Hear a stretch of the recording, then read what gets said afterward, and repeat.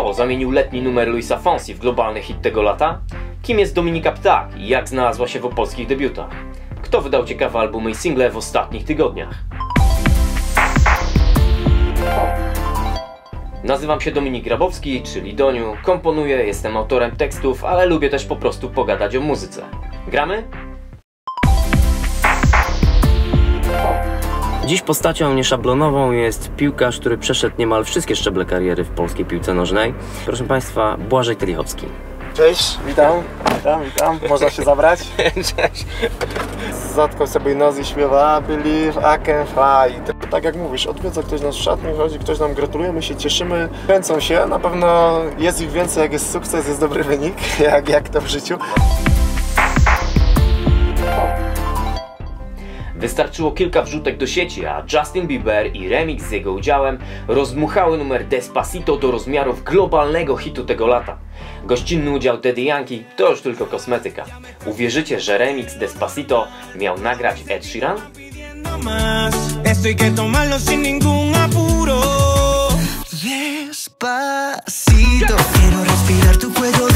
Deja que te diga cosas al oído. Para que te acuerdes si no estás conmigo. Despacito, quiero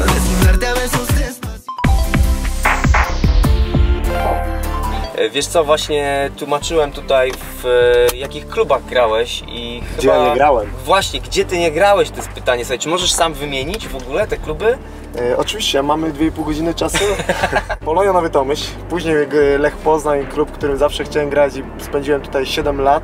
Z Lecha wybrałem się do Groklinu, z Groklinu fuzja e, z Polonią Warszawa, Polonia Warszawa, Arka Gdynia, Polonia Bytom, Zagłębie Lubin, Górnik Zabrze, Podbeskidzie, GKS był Hatymi z Legnica i, ta, i tak dalej. Błażej, czy jest szatnia, której nie znasz w Polsce? Bo stadiony to znasz wszystkie. Stadiony znam wszystkie. Myślę, że, że nie ma takiej ta, takowej tutaj w ekstraklasie i na poziomie gdzieś tam pierwszej ligi, której bym nie znał. Najciekawsze i najlepiej sprzedające się albumy ostatnich miesięcy i tygodni to oczywiście Ed Sheeran z albumem Divide, a w Polsce Lemon i album Two. W sieci rządzą świetne klipy nowy Charlie Puth i Attention.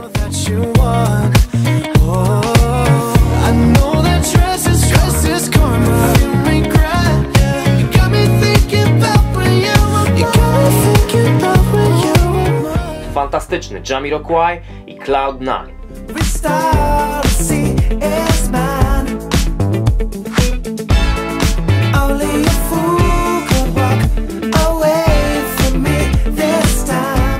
Trio nie do zdarcia, czyli DJ Khaled, Rihanna, Bryson Tyler, Wild Thoughts.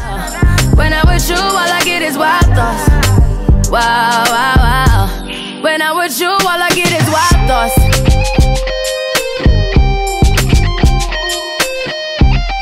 Hey.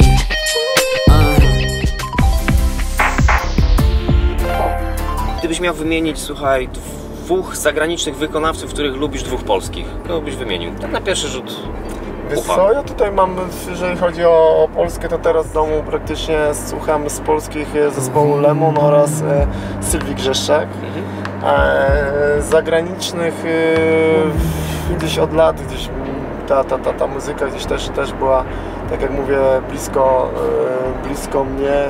50 Cent gdzieś tam cały czas, mimo, że te, te, tego, tego teraz nie słucham, ale tą płytę lubię sobie gdzieś odświeżyć i, i puszczać i tej, tej, tej muzyki posłuchać. Gramy młodych. Kim jest Dominika Ptak? To 13-letnia wokalistka z Wałcza, obdarzona nietuzinkową barwą głosu, skromnością i po prostu talentem. Wygrała program Malwiganci, zaśpiewała w duecie m.in. z Anią Dąbrowską, a teraz z nowym utworem Tak jak wiatr zakwalifikowała się do polskich debiutów. Fingers crossed. Grasz mecz, jest połowa albo przerwa, albo koniec meczu i nagle ktoś się pojawia w szatni, niezapowiedziany gość, mówisz, nie znam gościa, ale skądś kojarzę. Czyli tak zwane VIPy, które wam wchodzą czasami do szatni. Jak to wygląda? Bo czasami się przemykają takie No osoby. kręcą, kręcą się, na pewno jest ich więcej, jak jest sukces, jest dobry wynik, jak, jak to w życiu. Naturalnie. E, ale tutaj akurat no, postać wybitna wydaje mi się, która mi tak e, utkwiła i to był biznesmen e, po zwycięstwie z Lechem Poznań, znaczy ja grając w Lechu Poznań wygraliśmy na stadionie Legii Warszawa Puchar Polski.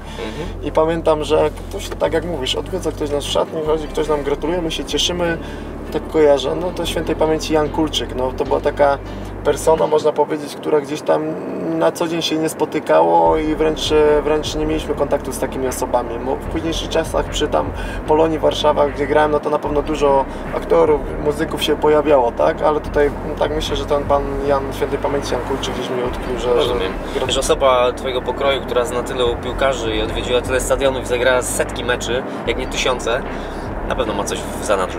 A że nie jestem szarą myszką, która nie lubi żartów, to, to, to, to, to coś mam. Mi się wydaje tutaj właśnie taką historię e, dosyć śmieszną, co koledzy mi często powtarzają i wołają do mnie R. Kelly, a w związku to chodzi e, sytuacją, kiedy jeszcze znów wracam do czasów Lecha Poznań, bo tam mieliśmy naprawdę ekipę taką, że, że no, no, ciężko było zachować powagę.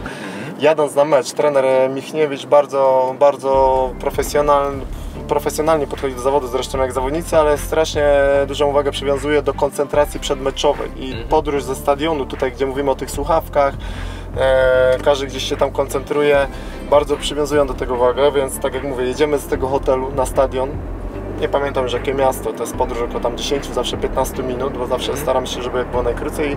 I gdzieś w tle leci z głośników autokaru e, I believe I can fly. I trener, i, jeden z kolegów mówi, akurat to nie byłem ja, zatkał sobie nos i śpiewa I believe I can fly. I trener się odwraca bardzo, no wyobraźcie sobie tę sytuację, po prostu mu piana, bo nienawidzi takiej sytuacji, tutaj, że ktoś mu dekoncentruje zespół.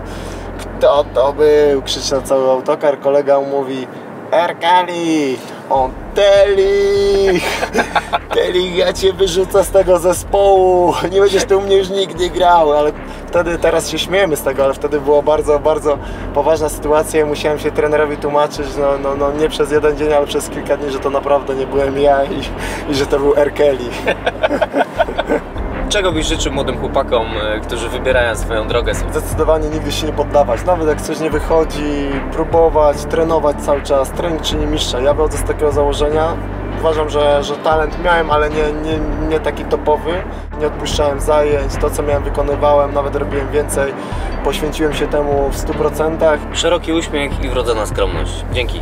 Dzięki. Na dziś to wszystko. Nie zapomnij subskrybować kanału na YouTube, na którym znajdziesz dłuższą rozmowę z naszym gościem i dodatki. Wpadnij na Insta i na FB.